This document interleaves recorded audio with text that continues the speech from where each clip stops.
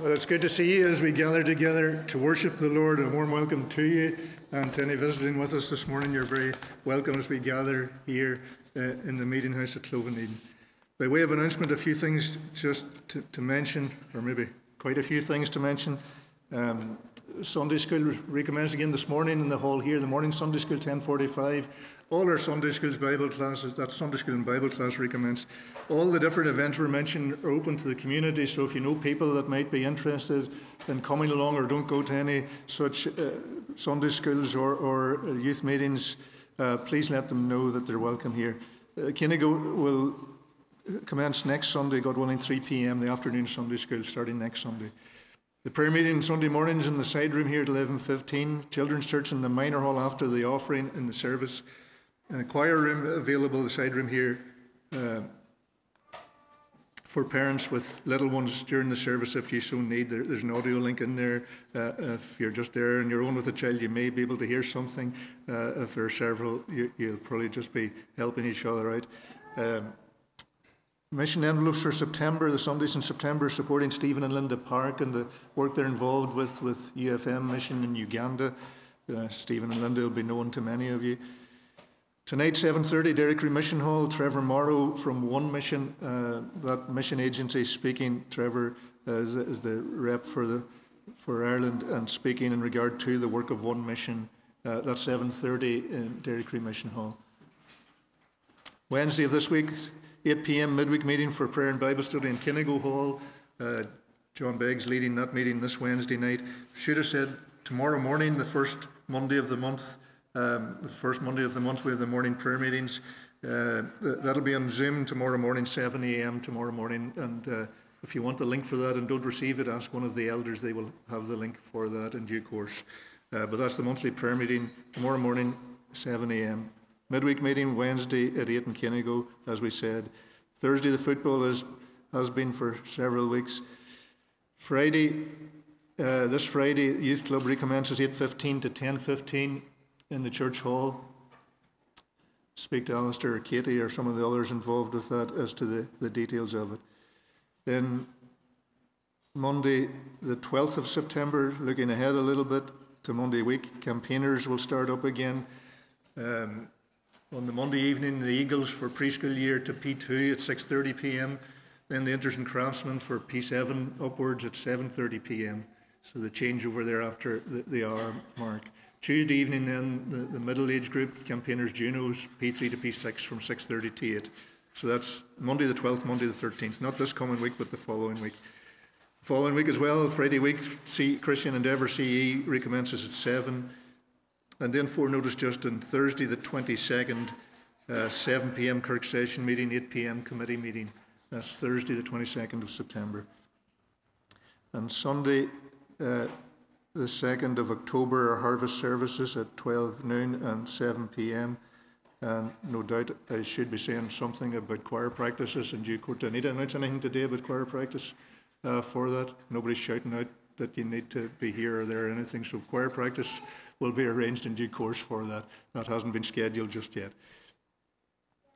But God willing, the choir will be, will be singing uh, at, at those services. Kinnigo next Saturday have the fun day, and the Sunday school starting the following day, then the, the fun day from 2 to 4. The details there and the flyers for that. Um, it's next Saturday afternoon over at Kinnigo Hall. And the flyers are available for that, or again, ask Alistair Martin or some of the other teachers involved there for the information about that if you're unsure. Some of the flyers may be still in the vestibule or it's on the announcement sheet.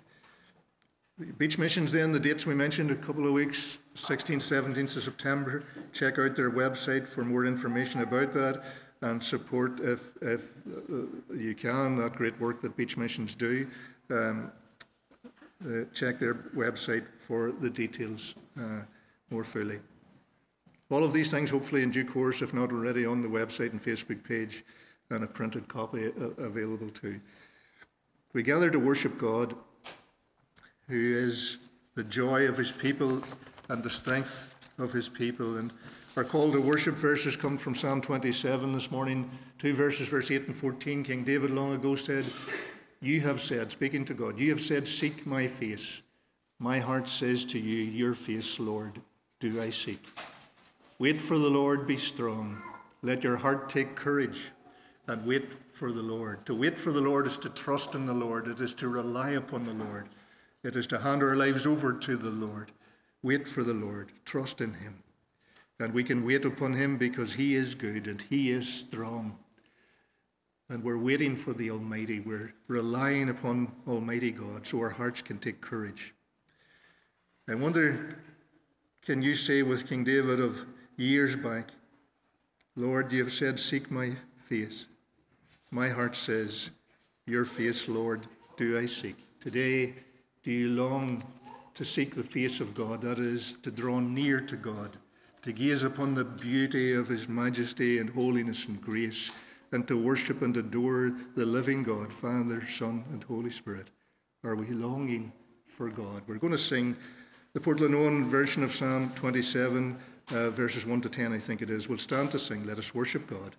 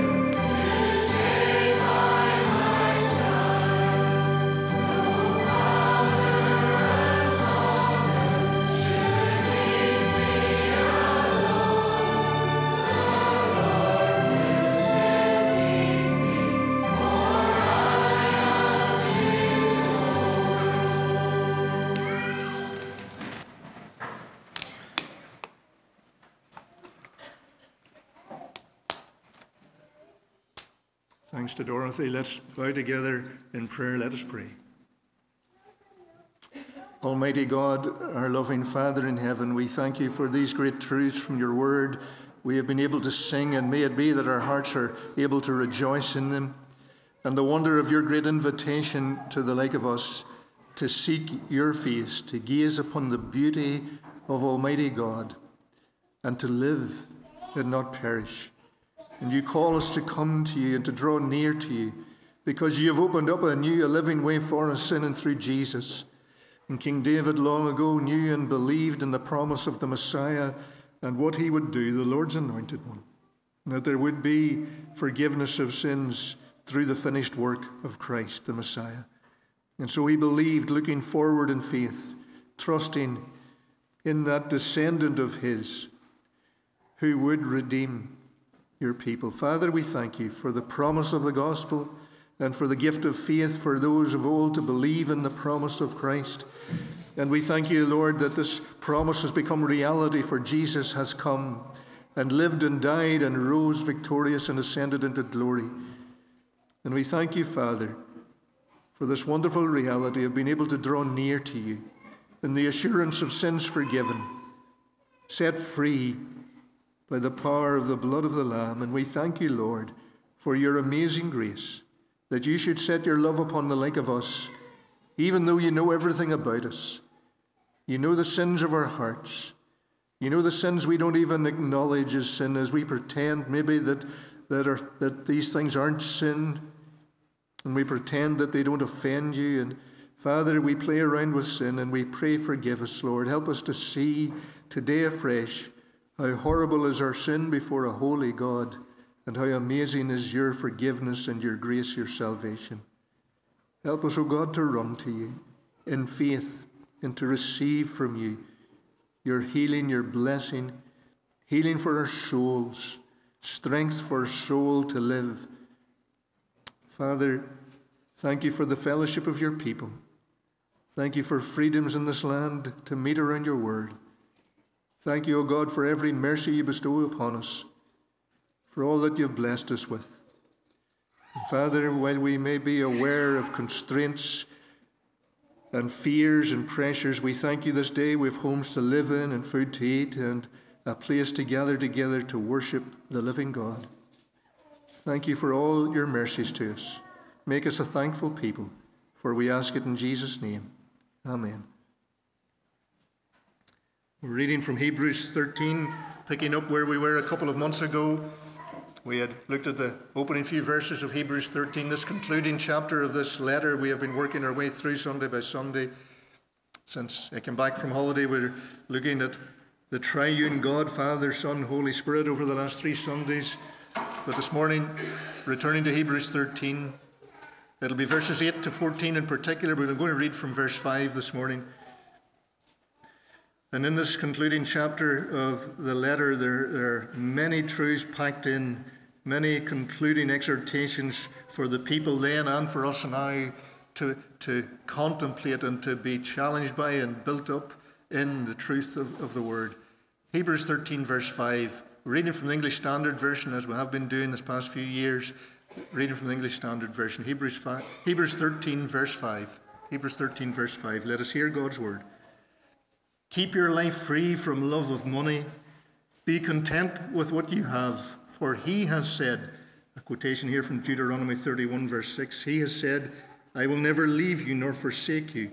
So we can confidently say, another quotation from Psalm 118, verse 6, we can confidently say, The Lord is my helper. I will not fear. What can man do to me?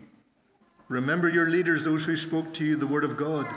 Consider the outcome of their way of life and imitate their faith. Jesus Christ is the same yesterday, today, and forever. Do not be led away by diverse and strange teachings, for it is good for the heart to be strengthened by grace, not by foods which have not benefited those devoted to them.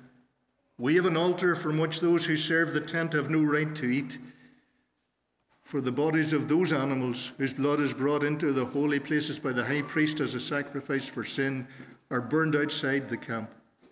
So Jesus also suffered outside the gate in order to sanctify the people through his own blood.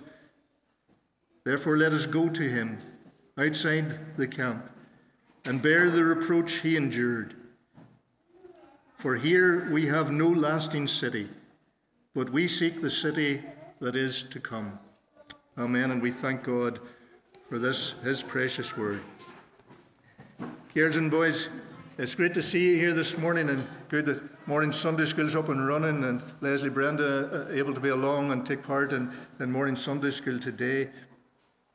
And I want to speak to you a little bit about God's grace, amazing grace. We, we hear that language a lot in church, the grace of God.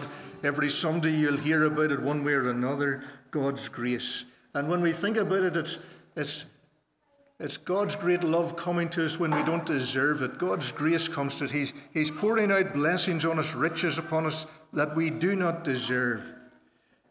In fact, we deserve the very opposite. God's grace is getting the good things of God that we don't deserve. And one man that came to know and experience God's grace, one among many, was a man called John, John Newton. And he was born, I think, almost 300 years ago. I think maybe 1725 was around the time he was born. Long time ago, he was born. John Newton, growing up in England and only child and, and, and brought up by his mother. And his father was a sailor uh, and a very important man at sea, and so was away from home a lot.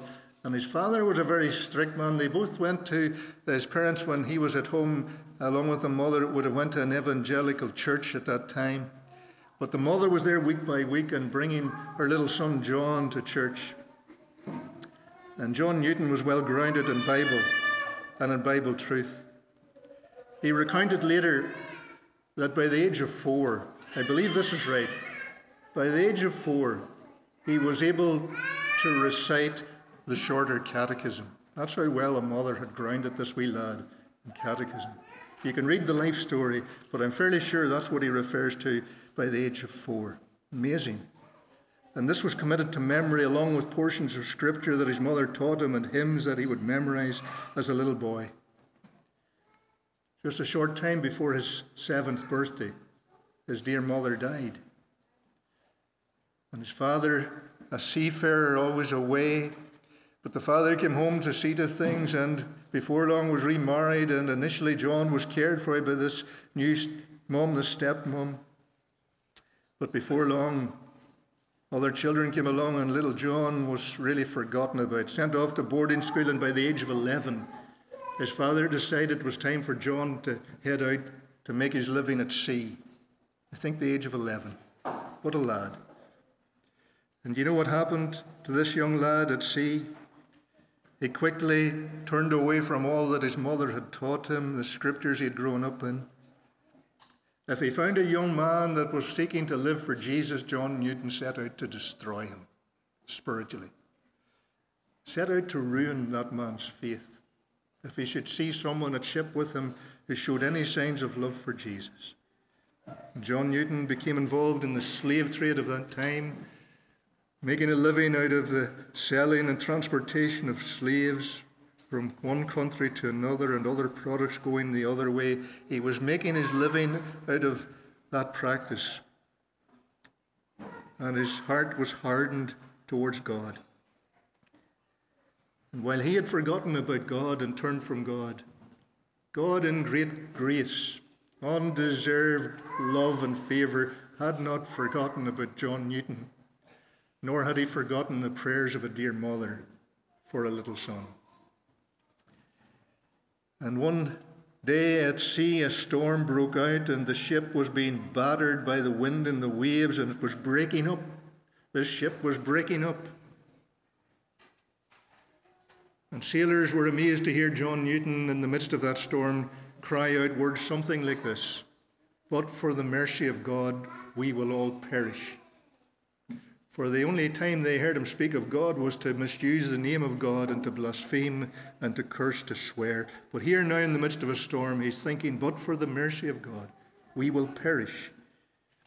And in the mercy of God, that ship drifted in off the coast of Ireland, off the west of Ireland, Lough Swilly, Donegal, in around that area of Buncrana. You'll go there and you read something of it. They make much of it in their publicity and tourism. And Newton then travelled to the city of Londonderry, made his way there, and found shelter and help there. and began to think about God and the gospel. And there was a turning in his life. There was another near death experience, I think, in the city in those few days he was there. A turning point in his life. And he cried out eventually to Jesus to save him, to forgive him, to change his heart. And he was forgiven.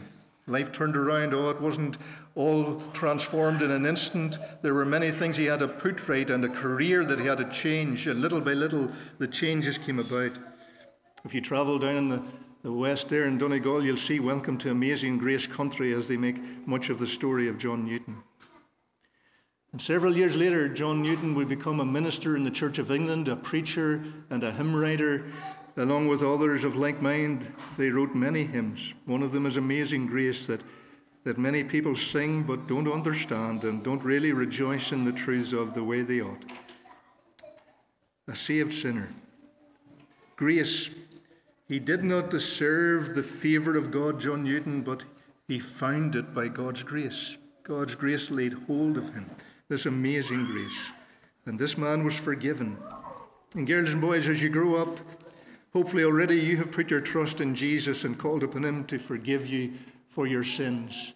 That's the reason He died on that cross, so that your sins could be forgiven. He rose from the dead and He lives to help us and to lead us and to guide us.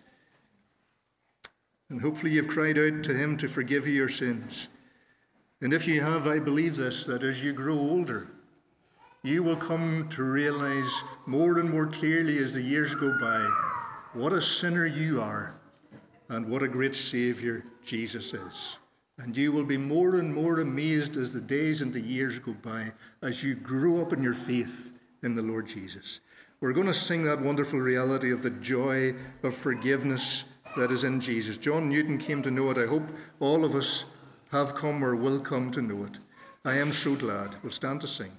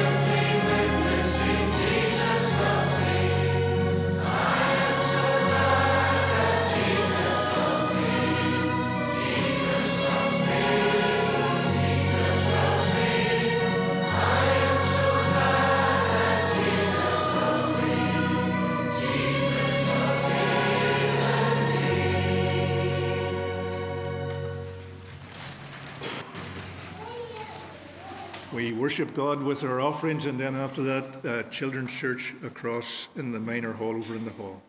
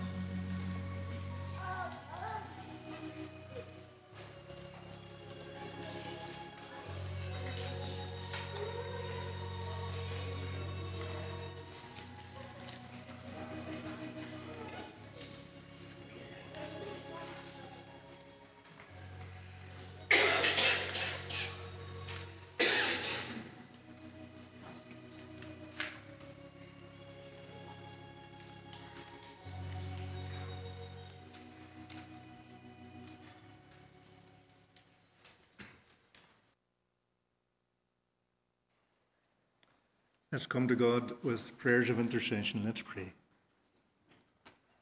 Heavenly Father, we pray that there would be truly our awareness of just how great is your love for us and how undeserved is this love, this favour that you lavish upon us in Jesus. May your Holy Spirit do a work in our hearts this day that makes us realize just how precious is your amazing grace. Draw near to us, Lord, we pray, and to all gathered here and to loved ones even unable to be with us here as they follow on in recordings of services and open up your word in their homes or wherever they find themselves. Lord, we pray for the touch of your hand and mercy upon them. For those that struggle to call to remembrance the things that they once knew in, a, in an instant, Lord, we pray, enable them to call to mind the greatness of your love for them. That the name of Jesus would be precious to them Lord, we thank you that you're able to commune into the hearts and souls of women, men, children in ways that we could never reach. And you're able to impress your great love upon those, Lord, who are struggling this day to think and to cope or to remember. And so we pray, O oh God, for that awareness of the touch of your hand upon their lives. And settle them in your love and help those who care for them to know how to care for them day and night. Father, as we bow in your presence, we feel our frailty and we're thankful that you strengthen us by your grace. And we pray for those dear to us, Lord, who are struggling, Lord. Some awaiting appointments and treatment uh, and outcome of such surgery, Lord, perhaps. And we pray, Father, as we name individuals to you. We pray that they would be able to lay their burdens at your feet. Help them to cast their cares upon you. Help those who care for them, those medically who deal with them, grant skill in enabling those who care for them practically day and night in recuperation. Lord, grant them love and diligence and perseverance. And Father, we thank you for so many in the community who care for the needy and the vulnerable and the frail. And we pray, O oh Lord, that they might be encouraged in their work and appreciated in their work. And Lord, may your mercies abound to them. Father, as we think of our nation and our province, Lord, we see the reality of people everywhere in great need of Almighty God and yet unaware that they need you. Thinking that our greatest need is for prices to go down or incomes to go up or whatever else, Lord. And while all those pressures and realities are impacting many lives, Lord, we see the reality of lives lived apart from you, without thought of you and eternity. And so we pray, Lord, that you would move by your Spirit even in these days of adversity, the hardship, that there would be a turning to you and awareness of a need for God and to be right with God. And grant us wisdom to know how to use all that we have for the glory of your name and for the good of others. Grant us eyes to see what you would have us to do. Lead us and guide us, we pray. Father, we think of those serving in the mission field today, asking that they would be encouraged in their labours and strengthened for their task, and that your Spirit would be evidently empowering them and equipping them for what you've called them to do.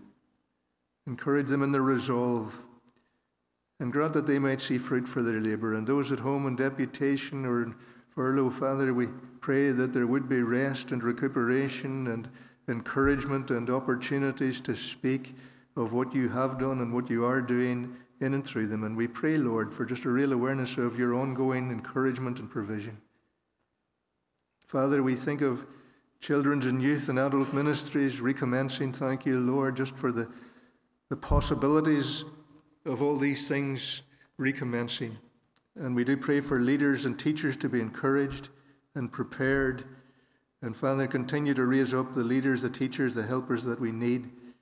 Put that desire in the hearts of many, maybe even some today pondering what they might do for you and saying to one of the elders, What ways can I help and can I serve? And Father, we pray that there would be a discernment as to gifts and abilities that you've given to your people, and that each one would seek to use those gifts and abilities for the glory of the name of Jesus. We pray, Lord, for Prime Minister who will be appointed, whoever that might be, that your mercies would be toward them, that they would have a humble, a teachable heart, and that they would seek good counsel around about them. Oh Lord, even bring godly counsel around about them. And we pray for Queen Elizabeth, for your strength sufficient for each day, and for your mercies to abound to her in these days also, and to your household. Father, we need you, and we are nothing without you. And we cry out this day for you, the living God. In Jesus' name, amen.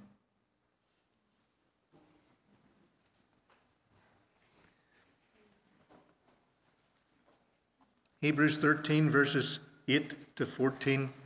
A few months back, we were looking at the opening verses here in Hebrews 13 and these concluding teachings of the letter. We looked at abiding love, the love that abides, the love of God in Christ that is shed abroad in the hearts of the redeemed, abiding love and unchanging truth.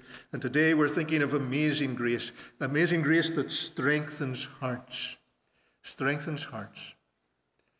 Verse 9 Do not be led away by diverse and strange teaching, by so diverse, there's a, a multiplication of these teachings. Strange, they're, they're not what you have known and if you're thinking I've been taught something recently by someone and I didn't know the like of it, it may well be that it's something you need to be warned about.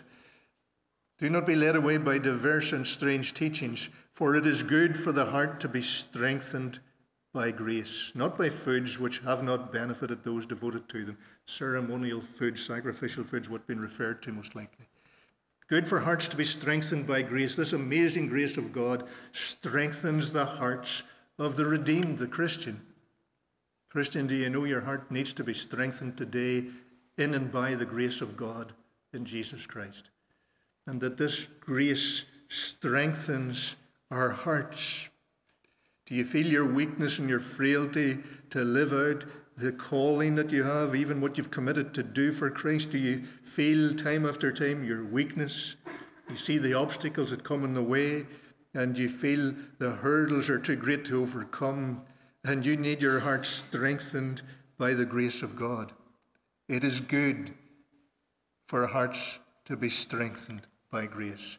In contrast to hearts that are led away by strange teachings, false teachings, that were prevalent back then in the days of the writing of Hebrews and in the present day. And the warnings come of all these false teachings and all sorts of people leading others astray. You see, the truth of the gospel does not change. Jesus Christ, the same yesterday, today, and forever. We touched on that a few months ago. If we were writing it grammatically, we would probably say Jesus Christ, the same yesterday, today, and tomorrow. But it's even better than just tomorrow, forever. Jesus Christ, the same yesterday, today, and for all tomorrows, forever, for all eternity. Jesus Christ, the same. The message of Jesus unchanging. No need for it to change, for it is the great message for all mankind. Jesus Christ, the gospel of Jesus, we make known. And it's the grace of our Lord Jesus Christ that strengthens hearts. And how does that come about? How are hearts strengthened by this grace? Well, some things that flow out of what's been said here opens that up for us. This grace of God brings forgiveness of sins. For the writer here says in verse 10, We have an altar from which those who serve the tent have no right to eat. We have an altar. And many a time I say to congregations as we gather Sunday by Sunday, and particularly at the Lord's table, uh, we, don't, we don't have an altar at the front. We have a table, the Lord's table. Communion is not about re-offering something. It is about meeting in fellowship with the risen, exalted Jesus by the power of the Holy Spirit, meeting one with another. We're drawing together in fellowship at the Lord's table. And so we do not have an altar at the front of the building where we offer some sort of sacrifice. Now, in terms of the sacrifice that the Christian does offer, God willing, next Sunday we look at that in these next verses because there is a sacrifice that Christians offer daily, or we are to offer, but we touch on that next week. But no altar at the front, but we have an altar. So, what is the writer to the Hebrews speaking about? He's speaking about Calvary, speaking about the cross of the Lord Jesus, where the Lamb of God laid down his life. He at one and the same time, the Lamb and the great high priest offering the sacrifice. So, in one sense, the altar is the cross of Jesus Calvary, and in another sense, it's the heavenly altar that we read about, for instance, in Revelation 6, where the, the, the finished work of Christ is seen to be received and accepted in heaven by the Father. So, this altar is pointing to the finished work of Jesus. We have an altar, an altar from which those who serve the tent have no right to eat, and the implication seems to be that the tent or the, the temple in Jerusalem was still there at the time of writing of this letter. That temple of Herod's day was still there. And so there would have been those of the priestly order of Judaism offering sacrifices there, partaking of some of those sacrifices. Some of them they were to eat parts of, others were to be wholly consumed in the offering. Others, some of the, the people themselves would, would join in fellowship meals or offerings in the symbolism of sacrifice, bringing the sinner and the holy God into fellowship and the mediation of priesthood in between. But we have an altar that is far superior to any grand altar, even whether it be tabernacle or temple in Jerusalem. We have something far better. All of that was shadowing, foreshadowing, pointing to the coming of Christ. We have an altar far superior. It's the finished work of Christ. It's the cross of our Lord Jesus Christ. It's what He did. And so forgiveness of sins flow to us.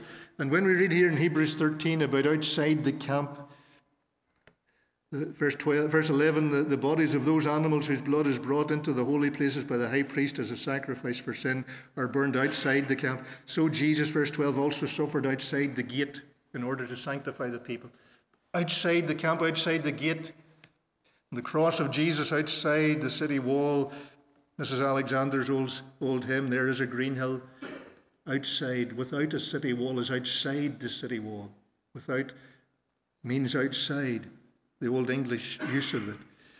And so Jesus went outside, outside away from the place of worship of the temple, outside, rejected and marred for the forgiveness of our sins. It's, it's pointing to the Day of Atonement, in particular, in regard to sacrifice. If you read Leviticus 16 later in the whole of it, or in particular verse 27, in the Day of Atonement, the sacrifices were not to be eaten by priests or others, but taken outside the gate and burned in their entirety.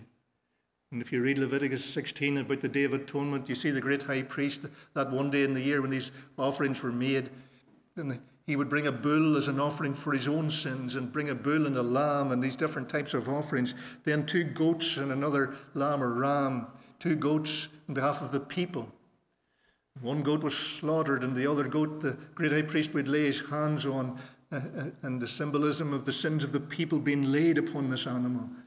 And this goat led out into the wilderness, far, far away, far removed.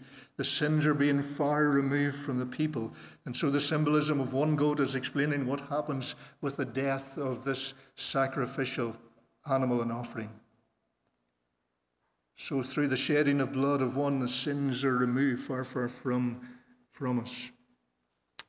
And speaking of an altar far superior to that of the Day of Atonement of old. This is, these, these days were all pointing to Christ and to the cross of Calvary. And we have an altar from which those who serve at the, the tent, so even the priesthood or the great high priest of Judaism, had no right to eat at this altar. This is far superior. For it's the body and blood of Jesus we're speaking of. So rather than being strengthened through ritualism and Judaism that had lost sight of the grace of God, as, as for many within Judaism at that time had lost sight of the grace of God, Saul of Tarsus being one of them.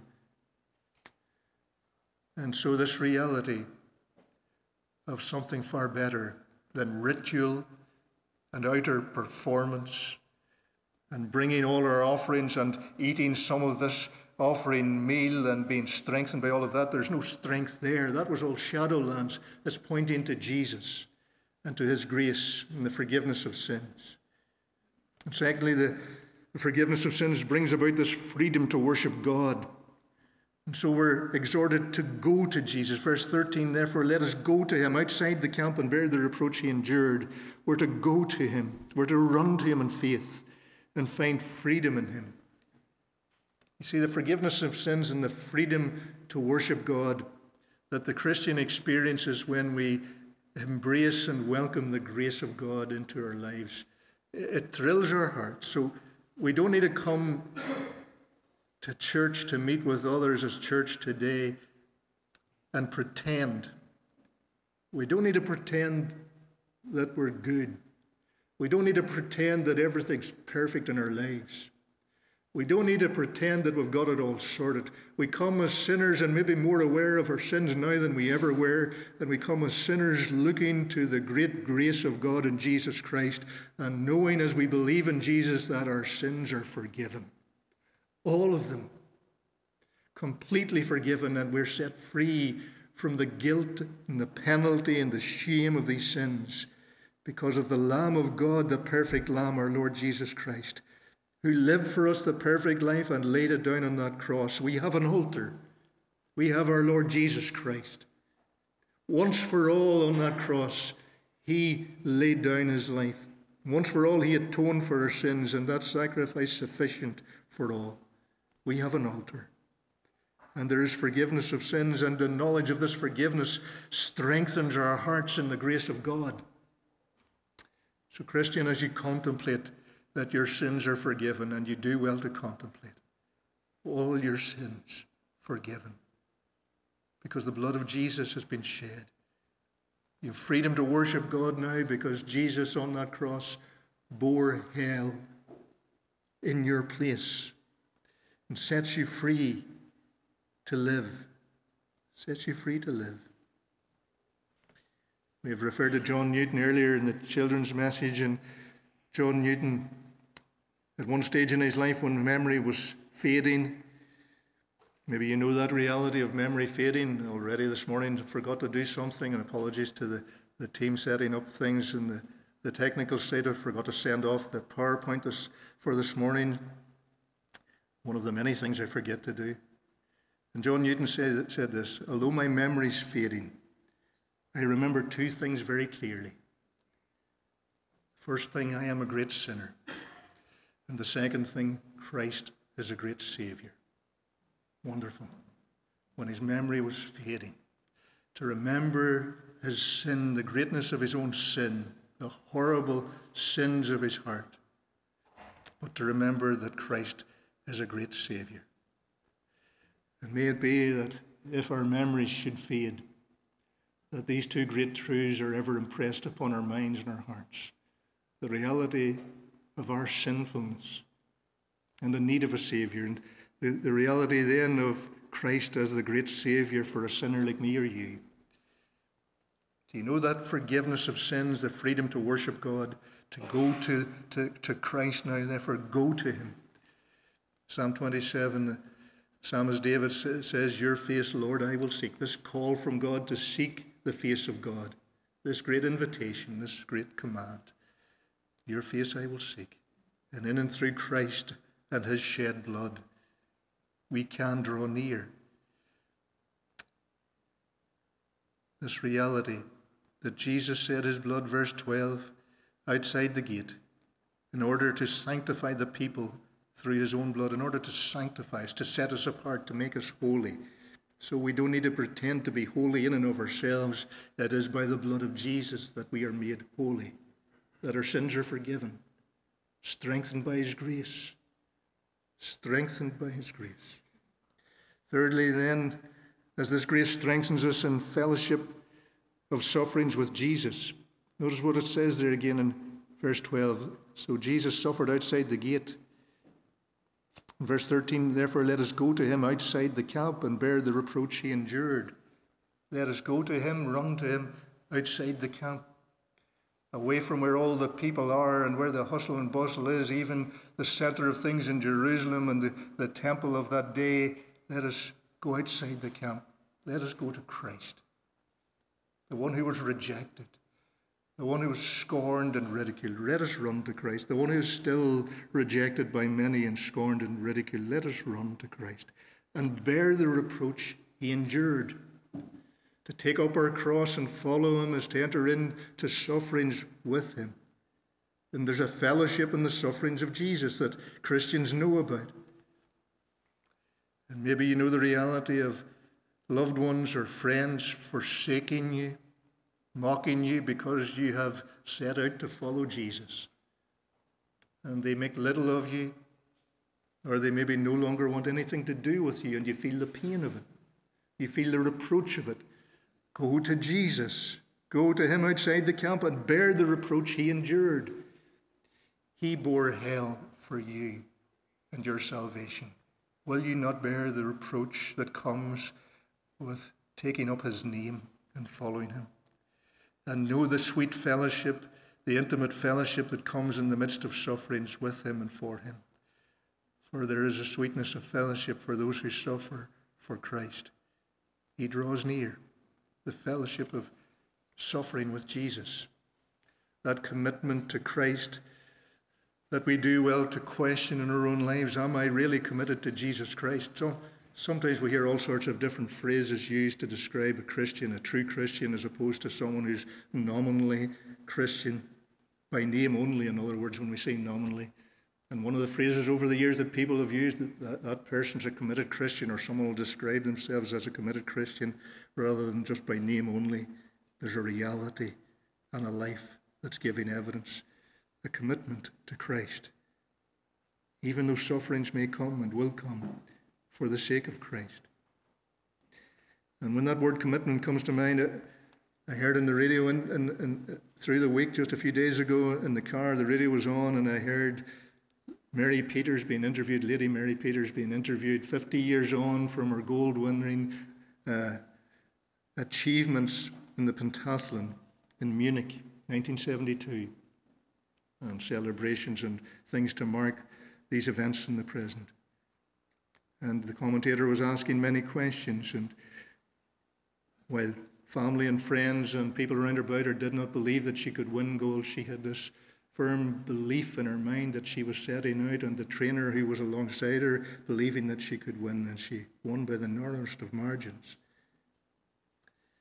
But one of the questions asked about the backdrop to that gold medal in Munich, and there were goals, I think, leading up to it in the Commonwealth Games and it gave her a taste for it all. But she referred back to four years earlier in Mexico, in the Olympics there, and she didn't do too well there. And she came away from there and she questioned her commitment to win.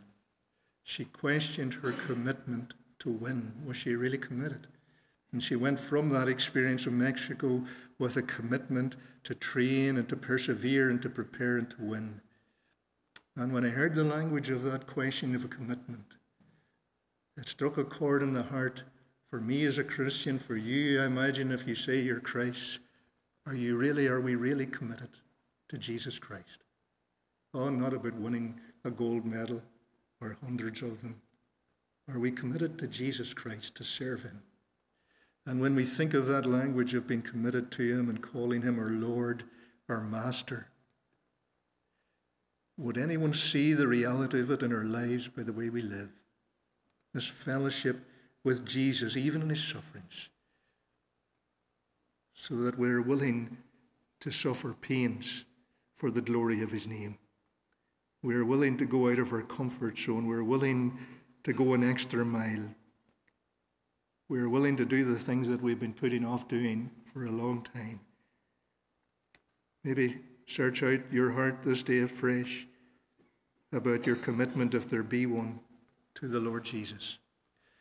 Forgiveness of sins strengthened by grace. Freedom to worship God. We go to Him in and through Jesus. We are accepted by the beloved, in the beloved fellowship of sufferings with Jesus, and were strengthened.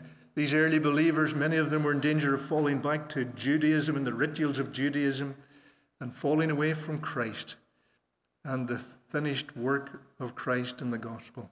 They were in danger of going backwards because sufferings had come, because family maybe were rejecting them, and there was opposition, and there was hardship, and there was reproach, and they're in danger of going back. But there is no strength in ritual, and there is no strength truly, and there is no spiritual strength. Even if you find yourself with millions of other people of like mind going through the same ritual and assuring yourself that these rituals and all the sacrifices external are going to do something to make you acceptable with God, there's no strength there. There's no strength there.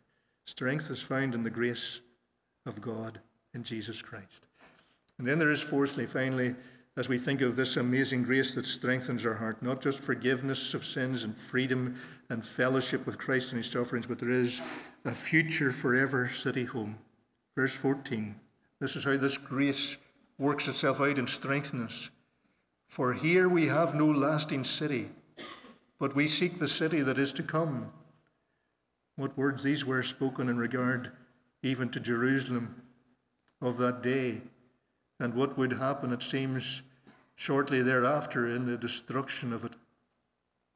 The destruction of Jerusalem and the, the, the believers and the gospel spreading throughout the world with the Roman system of governance opening up that means of spread all the faster. Here we have no lasting city. Here we have no lasting city. Oh, we might seek to live for a hundred years and more. We might seek all the insurances medically and financially and everything else so that we'll be comfortable all the days of our life and not have any worries and our loved ones will not have any worries and comforts and no matter how much insurance and no matter all the things we might do we cannot be assured of such assurances we cannot wrap ourselves or anyone else up in cotton wool and protect ourselves or others from all the uncertainties of life and health frailty and the reality of age and decay and the reality of, of a world that is in need to be made over anew. Creation is longing to be made over anew. But the message of the gospel strengthens our weak hearts when we think of our frailty mentally, emotionally, physically, spiritually, and we think of our frailty and the limitation of our days, and, and yet we're reminded here we have no lasting city but we seek the city that is to come. Are we seeking the city that is to come, or are we seeking the city here, the home here? There is a future forever city home in Christ. In Revelation 22, verses 12 to 15, we read these words. Jesus said, Behold, I am coming soon, bringing my recompense with me to repay everyone for what he has done. I am the Alpha and the Omega, the first and the last, the beginning and the end. Blessed are those who wash their robes, so that they may have the right to the tree of life, and that they may enter the city by the gate, by the gates. Outside are the dogs, the sorcerers, the sexually immoral, murderers and idolaters, and everyone who loves and practices falsehood. So there's a separation. Those who are welcomed into the city of God, the eternal city, the heavenly home those who are outside rejected because they are not washed Blessed are those who wash their robes so that they may have the right to the tree of light, life and that they may enter the city by the gates. So there's freedom to enter in to the forever eternal city of God, a heavenly home where there is eternal security. Eternal security. Life everlasting in all its fullness. No longer any dying or pain or sickness or sin or suffering. Are you looking forward? Are you looking forward? Here you have no lasting city, no matter how much you might do to prop it all up. But we seek the city that is to come. That's the grace that strengthens hearts when we're seeking the city that is to come, when we're looking forward to glory, when we're living in the light of eternity. Or to use again words from John Newton, I think they were words when he was close to death. And he is reported to have said, I am still in the land of the dying. I shall be in the land of the living soon. That a wonderful way to look death in the face? I'm still in the land of the dying, but I shall be in the land of the living soon. The Christian looks to that future, eternal, forever city with assurance that it's ours in Christ. And it is the land of the living. We speak of this as being in the land of the living. This isn't in the land of the living. This is very much in the land of the dying, here and now. But there is the land of the living. And we're looking forward to it. Oh, when the soul departs the body at death, the Christian soul goes to be with the Lord in glory forever, Uh, awaiting the resurrection of the body when Christ returns in the fullness of it all the fullness of it all. Are you looking to the heavenly city, seeking it, and seeking the face of God, enjoying His forgiveness and the freedom that He gives, sharing in the fellowship even of the sufferings of Jesus, and strengthened, strengthened in the grace of our God? Oh, if you have never come to Christ, come to Him today. Call upon Him to forgive you, to save you, to lead you, to guide you. Don't reject him any longer and know the joy and the assurance of his love and his life in your heart. We're going to sing in closing that best known, maybe, of Newton's many hymns, Amazing Grace.